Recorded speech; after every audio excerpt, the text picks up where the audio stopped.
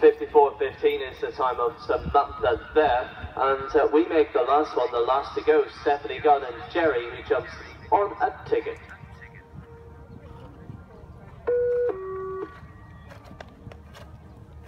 It's Rosie Gunn.